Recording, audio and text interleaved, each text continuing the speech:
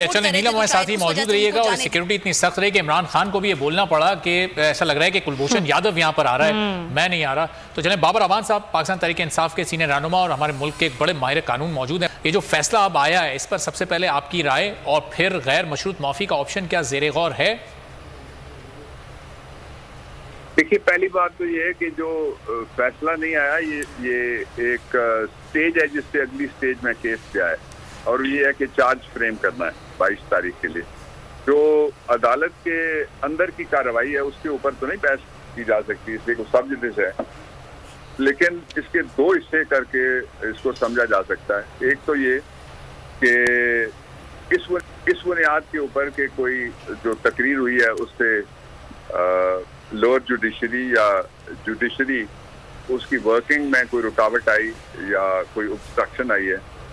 उस पर जो कहा है दो अदालती मुआवनीन ने एक मुंदिर मलिक साहब ने जो कहा कि मैं वो आखिरी आदमी हूँ मैं जो ये हम्म। तस्लीम करूँगा मेरी भी पोजीशन वही है कि मैं रोज प्रैक्टिस करता हूँ इन्हीं अदालतों में इसलिए आज भी इमरान खान की तरफ़ से एक सेशन जज उसी कोर्ट में के थे उनके पास मैं पेश होके आया हूँ कि वहाँ वहाँ तो आ, मेरा नहीं ख्याल कि कोई मुतासर होगा इस तरह की किसी तकरीर से एक हम्म। तकरीर जो मौजूद बहस है मैं उसकी बात कर रहा हूँ एक और दूसरा ये है कि आज जो दोनों अदालती मुआवनीन ने कहा, उन्होंने कहा कि जो जवाब दिया गया है, इसको कहते हैं conduct of the accused after the occurrence यानी दो होते हैं, इससे कि चलन मुलजम कबला वकूआ और चलन मुलजम बाद वकूआ तो जो कॉन्डक्ट है बाद का, उसमें उन्होंने रिमोर्स किया रिग्रेट किया और इजारे तासुब किया या इदारे नदामत किया, जो भी आप कहना चाहें उसको कह सकते हैं। तो इतना काफ़ी था।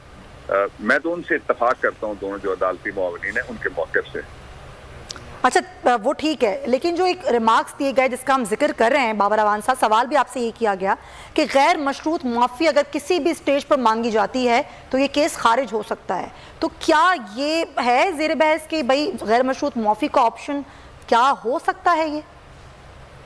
देखिए आप ये थोड़ा सा मेरे ख्याल में भी जो ये जो बात है वो आप जो पार्टी जो दिया गया उसके अंदर भी लिखा हुआ है कि ये सिंसियर और डीपेस्ट रिग्रेट हम्म। करते हैं हम्म। तो वो लफ्स ये मोमिन ने भी कहा है जो इस्तेमाल हुए हैं वो काफ़ी हैं इस बात के इजहार के लिए हम्म। कि जो हुआ था वो नामनासिब था और उसको रिग्रेट करके फिर ये लफ्स जो है वो इस्तेमाल किए गए सही तो मेरे मेरे ख्याल में तो ये इतना काफ़ी इतना काफ़ी है।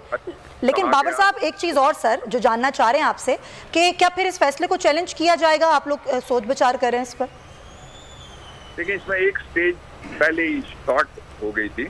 हम्म। कि नोटिस देने के बजाय शो काज नोटिस बरए रास्त तोने अदालत का हम्म। आया जो तोने अदालत के जो ऑर्डिनेंस है जनरल मुशरफ के दौर का उसमें दो नोटिस हैं। एक पहला ये कि क्यों ना आपको नोटिस जारी किया जाए। तो वो एक ग्राउंड बन सकती है कि हर इल्ज़ाम अलाय जो एक्यूज होता है उसका ये हक है कि वो फेयर ट्रायल के लिए कोई भी ग्राउंड जो उसको अवेलेबल है जहाँ पे वो अपने आप को डिफेंड कर सकता है अगर वो किसी वजह से सरकमवेंट हो या वो छोड़ दी जाए और अगले मरहले पे चला जाया जाए तो फिर ये आइन का आर्टिकल दस ए है उसके तहत बेशुमार फैसले हैं। सुप्रीम कोर्ट ऑफ़ पाकिस्तान के हाई कोर्ट ने भी किए हुए हैं। एक ग्राउंड